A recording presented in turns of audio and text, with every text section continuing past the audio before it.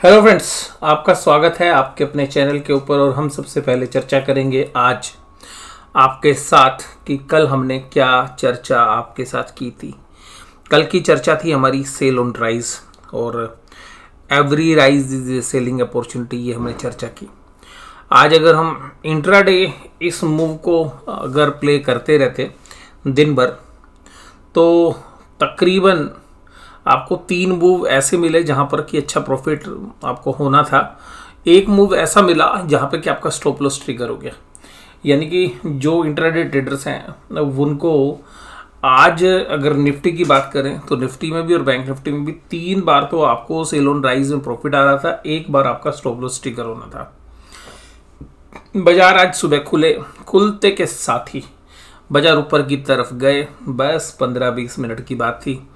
बाज़ार ने नीचे आना शुरू कर दिया। और तकरीबन एक बजे के आसपास एक मूव आया अप मूव और उसमें स्टॉप लॉस ट्रिगर हो गया। उसके बाद आप हर राइस पर सेल करते रहे तो फिर एक राइस जो है, तकरीबन तीन बजे के आसपास एक बार ऊपर से फिर वीकनेस दिखाने की कोशिश की बाज़ार ने। तो एक वहाँ पर जो एग्रेसिव ट्रेडर्स हैं, वो शायद जो इंटरडे में प्ले करते हैं वो जानते होंगे तो वहाँ पर जो है एक ट्रेड लिया जा सकता था। बट वो लास्ट के क्योंकि तीन बजे के आसपास होता है तो वो थोड़ा सा जो है रिस्की होता है, लेकिन वो मतलब एक सक्सेसफुल ट्रेड रहा होगा सेल ऑन राइज में। बट कुल मिलाकर हमें ऐसा लगता है कि तीन ट्रेड थे जो साफ़ मिल रहे थे। एक ट्रेड जो था जिसमें स्टॉप लॉस ट्रिगर हो रहा था। कुल मिलाकर निफ्टी सत्रह हज़ार सात सौ इक्कीस पर फोर्टी थ्री पॉइंट्स की कमज़ोरी के साथ ही बंद हुआ। हम सेल ऑन राइज ही प्ले कर रहे थे और वहाँ पर जो है, आज की जो कैंडल बनी है, वो फिर दोबारा से एक सीक्वेंस के अंदर दूसरी रेड कैंडल है। ये आमंत्रित कर रही है सेल ऑन राइज को फिर दोबारा से। और ये जो इंडिकेशन है, जो मैंने कल आपके साथ बॉक्स की बात की थी, मैं अभी उस बॉक्स के ऊपर ही जो है प्ले करना चाहूँगा। और ये जो बॉक्स है, वो मैं आपको कल भी कह रहा था कि जब 17,800 के आसपास जाता है 820 830 तो इस बॉक्स का रेजिस्टेंस आता है। इस बॉक्स के बाहर भी जा सकता है बाज़ार मैं ऐसा मना नहीं कर रहा हूँ। तो बाज़ार अट्ठारह हज़ार पचास अट्ठारह हज़ार चालीस के आसपास तक जा सकता है शॉर्ट कवरिंग में। लेकिन अभी हम कल की क्रेडिट पॉलिसी का इंतज़ार करेंगे। अब देखिएगा लोग क्रेडिट पॉलिसी के बारे में छत्तीस तरीके की बातें करेंगे। अब कोई कहेगा जी क्रेडिट पॉलिसी में रेट ऑफ़ इंटरेस्ट नहीं बढ़ेगा तो बाज़ार ऊपर चला जाएगा।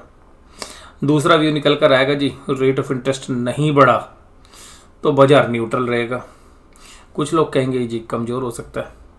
अब अगर हम पूरी घटनाक्रम को देखें ना, मैं क्रेडिट पॉलिसी का आज आपके साथ एक और बड़ी अच्छी चर्चा करना चाहूँगा। देखिएगा क्रेडिट पॉलिसी में ना असर तब होता है क्रेडिट पॉलिसी का, जब एक ट्रेंड बदलने की उम्मीद हो। यानी कि मान लीजिएगा आपका जो रेट ऑफ़ इंटरेस्ट का जो ट्रेंड है यानी कि रेपो रेट या रिवर्स रेपो रेट का ट्रेंड डिक्रीजिंग है। और अचानक उसका रिवर्सल आ जाए। जैसा अभी हमने देखा था कि जब रिज़र्व बैंक ऑफ़ इंडिया ने रेट ऑफ़ इंटरेस्ट बढ़ाने शुरू किए थे तो वो जो इंसिडेंस होता है, वो इंसिडेंस जो है, वो एक मतलब आपको एक ट्रेड दे रहा होता है। यानी कि एक अच्छा मूव जो है बाज़ार में आता है। उस समय पर जब पहली बार, अभी एक लंबे अंतराल के बाद एक साल लगभग हो गया, तब जब रेट ऑफ़ इंटरेस्ट बढ़ने का सिलसिला शुरू हुआ था फ़र्स्ट टाइम जब रेट ऑफ़ इंटरेस्ट बढ़ा तो बाज़ार ने नेगेटिवली रिएक्ट किया था। फिर देखिएगा, ये अंदेशा था कि भाई रेट ऑफ़ इंटरेस्ट बढ़ता रहेगा। अब कल के लिए उम्मीद क्या है क्रेडिट पॉलिसी में? देखिएगा क्रेडिट पॉलिसी से जो उम्मीद है, वो दो तरीके के मत आ रहे हैं। एक वर्ग मान रहा है कि नहीं जी रेट ऑफ़ इंटरेस्ट अब नहीं बढ़ेंगे। एक दूसरे वर्ग का मानना है कि रेट ऑफ़ इंटरेस्ट बढ़ेंगे तो सही, लेकिन वो 25 बेसिस पॉइंट ही होंगे। और उसके बाद जो आरबीआई की कमेंट्री आएगी, वो ये आएगी कि भाई अब इन्फ्लेशन बढ़ नहीं रही इंडिया में, और जो हमारा टारगेटेड है सीपीआई का, उस रेंज के अंदर बाज़ार आ रहा है दिसंबर में अगर हम बात करें तो दिसंबर और जनवरी की जो डेटा है, वो कुल मिलाकर ये इंडिकेट करने की कोशिश कर रहे हैं कि हाँ अब उतनी महँगाई नहीं है। तो हो सकता है कि यहाँ पर पॉइंट टू फाइव जो है बेसिस यानी कि पॉइंट टू फाइव परसेंट या ट्वेंटी फाइव बेसिस पॉइंट का रेट ऑफ़ इंटरेस्ट का इजाफा मिल सकता है। अगर पहला इंसिडेंस होता है या दूसरा इंसिडेंस होता है तो सर क्या गैप होगा?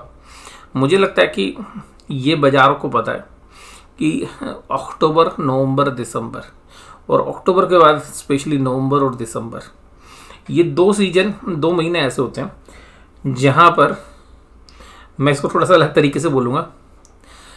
आलू, गाजर, पालक, मूली, गोभी सब सस्ते हो जाते हैं।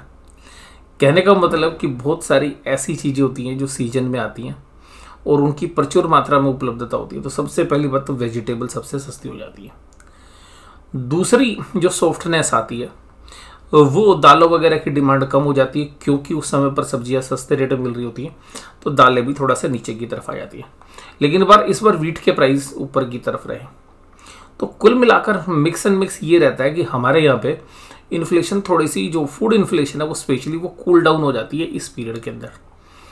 अब जहाँ तक बात करते हैं कि वर्किंग आवर्स भी रिड्यूस हो जाता है स्पेशली अगर नॉर्थ इंडिया की बात करें तो मान लीजिए अगर सर्दी की वजह से होता क्या है कि बहुत सारे जो लोग हैं मतलब जहाँ गाड़ी चलनी चाहिए, वहाँ भी नहीं चलती है। तो जो फ्यूल की कंजम्पशन है, वो भी थोड़ी सी लोअर साइड पे रहती है। क्योंकि भाई लोग सुबह उठते ही लेट है और जल्दी से काम निपटाते हैं तो जो फालतू घूमने वाले लोग हैं, वो भी थोड़ा सा कम हो जाते हैं।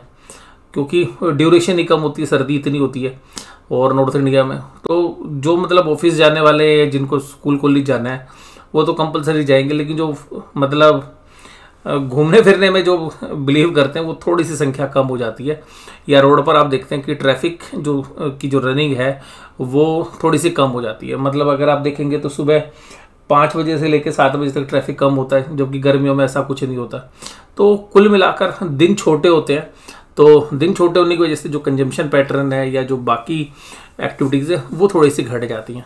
तो कुल मिलाकर ऐसा पास्ट में भी देखा गया है कि दिसंबर, नवंबर, जनवरी के आसपास के तीन महीने हैं, यहाँ पे इन्फ्लेशन थोड़ी सी कूल डाउन रहती है तो वो असर शायद कल भी आपको देखने के लिए मिलेगा। मेरा व्यू ये है कि यार ये सब चीज़ें डिस्काउंटेड हो चुकी हैं।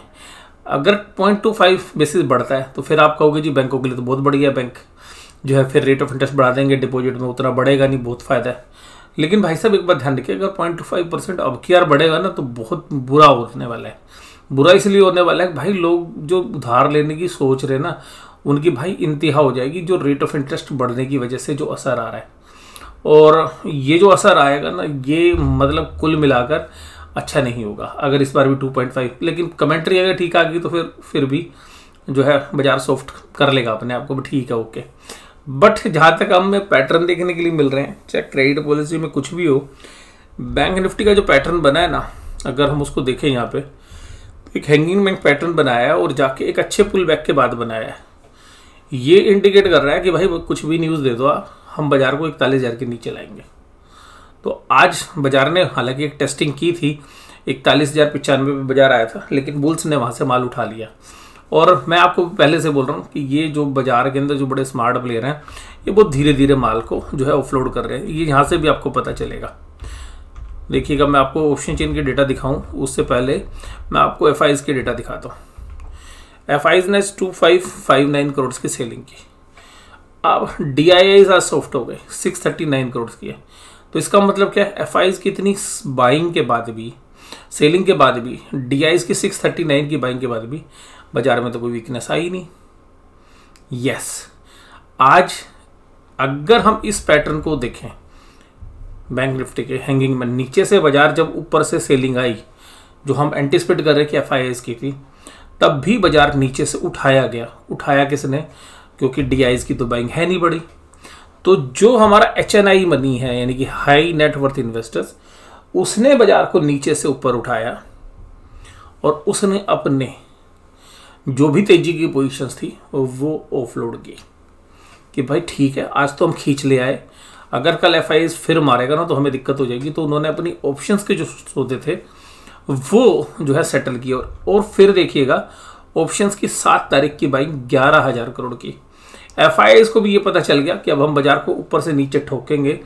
तो रोकने वाला कोई नहीं है। आज एच ने अपने तेज़ी के सौदे काट रही है और ये जो ग्यारह हज़ार करोड़ की बाइंग है, जब भी एक्सेसिव बाइंग आ रही है एफआईएस की तरफ़ से अगले दिन एक बड़ा मूव आता है।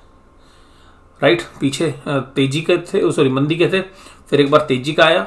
अब दोबारा से हमें लग रहा है कि मंदी का जो है रुख दोबारा से इन्होंने बना लिया है, जिसकी वजह से मैं एंटिसपेट कर रहा हूँ कि देखिएगा, सब लोग तेज़ी खेल रहे हैं फिर दोबारा से। बट मुझे ऐसा लग रहा है कि जो मैं पैटर्न देख रहा हूँ अभी, दोबारा से सेल ऑन राइज ही आएगा। हो सकता है थोड़ा सा और ऊपर ले जाकर राइज आए।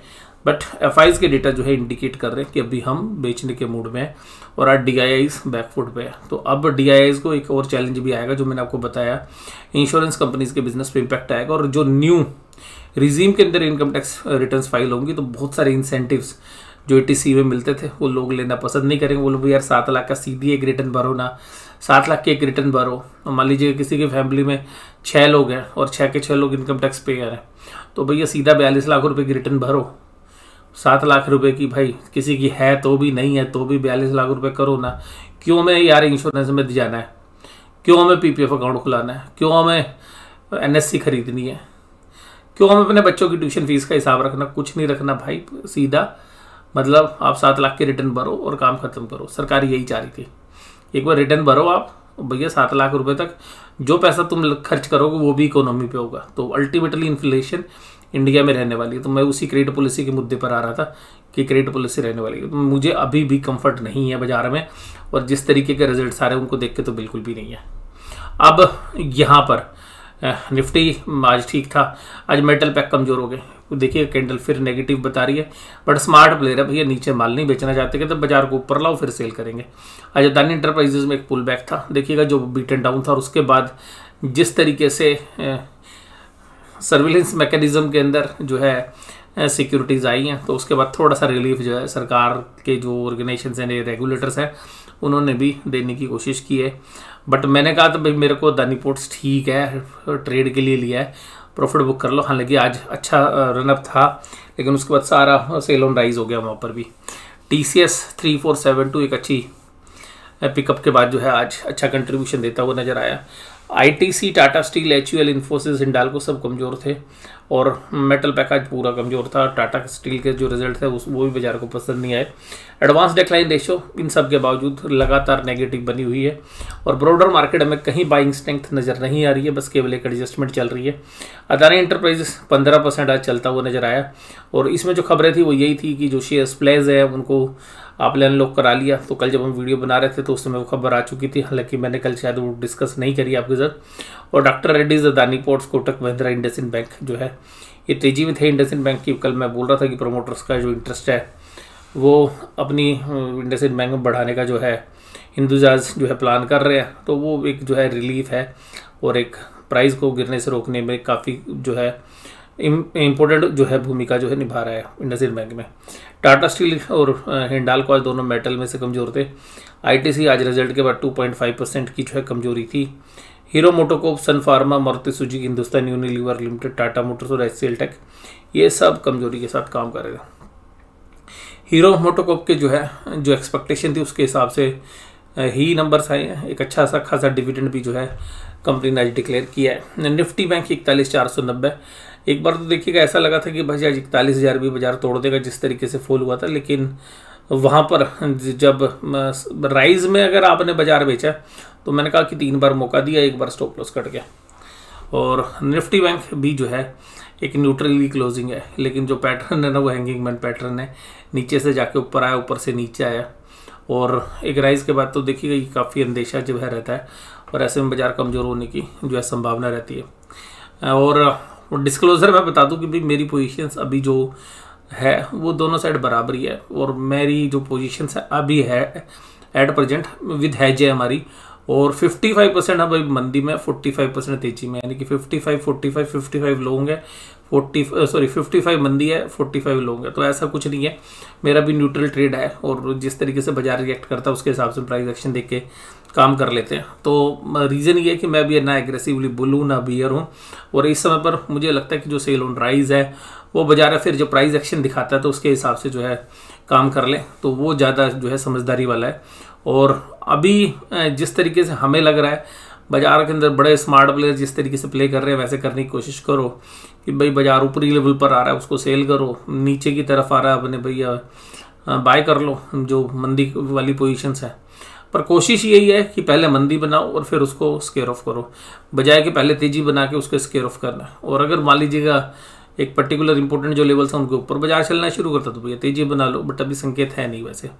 कोटक महिंद्रा में मैंने देखिएगा पिछले एक महीने से यही कह रहा था, भाई, कोटक महिंद्रा नहीं टूटेगा, बेशक से बैंक निफ्टी की धज्जियाँ उड़ेगी, लेकिन कोटक महिंद्रा बैंक ने अपने आप को संभाल लिया, क्योंकि पहले ही टूट चुका था। अभी भी सत्रह सौ पिछहत्तर रुपये में कोटक महिंद्रा बैंक ने आज पिछहत्तर पॉइंट का कंट्रीब्यूशन दिया। एसबीआई ने भी कंट्रीब्यूशन दिया एच ने भी दिया। तो आज जो है कोई एक न्यूट्रल ट्रेड थे। और एक समय तो देखिएगा, एचडीएफसी बैंक अच्छा कमज़ोर लग रहा था, लेकिन इसने अच्छी जो है स्ट्रेंथ दिखाई उधर से। कोटक महिंद्रा बैंक सुबह से स्ट्रेंथ था, और वो पता था बुल्स को कि आज इसको खींचना है। और वॉल्यूम भी आज बढ़ गए थे। सुबह सुबह ही पाँच मिलियन वॉल्यूम्स हो गए थे।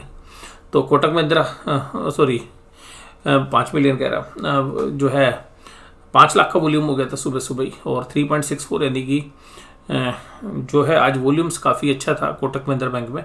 तो नॉर्मल वॉल्यूम से थोड़ा सा ज़्यादा था। तो सुबह मतलब पाँच लाख का जो शेयर्स थे, वो सुबह पंद्रह बीस मिनट में ही जो है खरीद लिए गए थे। तो ये लग रहा था कि भाई, आज कोटक महिंद्रा बैंक में एक बाइंग है। और आई बैंक और एक्सिस जो है साइडवेज थे। अब जो है, कल भूमिका जो निभानी है, वो एच बैंक ने निभानी है और जो फिर छोटे मध्यम बैंक है, वो उसी तरफ़ जो है रहा कर लेंगे, जिधर अब बड़े बैंक जाने की कोशिश करेंगे। और फेडरल बैंक को अगर हम ध्यान से देखें तो फेडरल बैंक में जो स्ट्रेंथ थी, वो थोड़ी सी मिसिंग हो रही है। और ये छोटे बैंक पहले रहा पकड़ लेते हैं। जो बड़ी प्लेयर जब रहा पकड़ते हैं, उससे पहले। एफ़ की डेटा मैं आपके साथ डिस्कस कर चुका हूँ और कुल मिला के इंडेक्स की जो ऑप्शंस की बाएँगे, और एफ़ ने स्टॉक ऑप्शंस बेची हैं आज, और वैसे भी स्टॉक फ्यूचर्स बेचे हैं तो स्टॉक फ्यूचर से ज़्यादा इंडिकेशन मिलता नहीं है।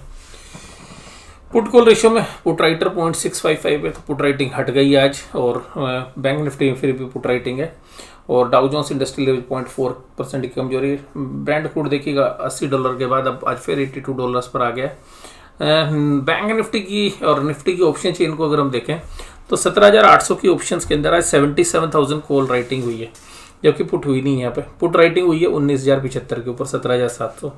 लेकिन सत्रह हज़ार सात सौ पे तो फोर्टी वन थाउज़ेंड की कॉल राइटिंग भी हुई है। तो बैंक निफ्टी में एक अच्छी ज़बरदस्त कॉल रेटिंग हो रखी है सत्रह आठ सौ सत्रह नौ सौ अट्ठारह हज़ार। तो ये सत्रह आठ सौ से अट्ठारह हज़ार का लेवल है। इसको जो है मंदी करने वाले बड़े मजबूती के साथ यहाँ पे खड़े हुए हैं। वहीं पर तेज़ी करने वाले या बाज़ार को रोकने वाले का जो पहला स्पोर्ट है वो सत्रह सात सौ की तरफ़ है, जहाँ पे उन्नीस हज़ार कॉन्टैक्ट ऐड हुए। लेकिन सत्रह हज़ार छः सौ से आज अनवेंडिंग होगी तो इस, इन्होंने शिफ्टिंग यहाँ पे कर ली। सत्रह छः सौ से थोड़ा सा कॉन्फिडेंस दिखाते हुए सत्रह सात सौ पर आ गए, और सत्रह पाँच सौ की ऑप्शन में भी पुट राइटिंग थी। बट वो स्ट्रेंथ नहीं है जो कॉल राइटर की है। तो बाज़ार शायद एक बहुत बड़ी मूव तो नहीं बट सत्रह पाँच सौ से अट्ठारह हज़ार की जो इस हफ़्ते की मूव है, उसके बीच में रहेगा बट मुझे तो सत्रह आठ सौ ही एक अच्छा रेजिस्टेंस जो है यहाँ पे लग रहा है। अगर निफ्टी बैंक की बात करें तो निफ्टी बैंक में आज देखिएगा पुट राइटर भी एग्रेसिव थे और इकतालीस पाँच सौ पे तेरह हज़ार कॉन्टैक्ट आज ऐड कर लिए, जबकि इकतालीस पाँच सौ की कॉल के अंदर एडिंग नहीं हुई। हालाँकि जो ओपन इंटरेस्ट है वो कॉल साइड ही ज़्यादा है। तो कुल मिलाकर ओपन इंटरेस्ट बैंक निफ्टी का कोई ज़्यादा, किसी भी साइड का ज़्यादा बता नहीं रहा, लेकिन निफ्टी जो है इंडिकेट कर रहा है कि भाई हाँ मुझे ऊपर नहीं जाना है। तो आज की इस एनालिसिस के अंदर मुझे लगता है कि जो आ, आपको महसूस हो रहा है वैसे मुझे भी महसूस हो रहा है। महसूस यही हो रहा है कि निफ्टी बैंक तो अभी डायरेक्शन नहीं बता रहा। ऑप्शन चेन में लेकिन निफ्टी रोकने की तरफ़ इशारा कर रहा है कि बाज़ार को मैं ऊपर नहीं जाने दूँगा। और कल क्रेडिट पॉलिसी पर रहेगी सबकी नज़र। क्रेडिट पॉलिसी में क्या मैं सोचता हूँ आप क्या समझते हैं? आप क्या सोचते हैं क्या मुझे समझाना चाहते हैं अपने कमेंट से? वो सब सिलसिला जो है हमारा जारी रहेगा। और आ, कल फिर एक नई चर्चा के साथ आपके साथ बने रहेंगे। वीडियो को देखते रहिए। वीडियो अगर पसंद आए तो इसको लाइक भी करते रहिए। और आज की चर्चा में मुझे लगता है बस इतना ही। और आज की चर्चा यहीं पे समाप्त करते हैं। वीडियो देखने के लिए धन्यवाद। Thank you very much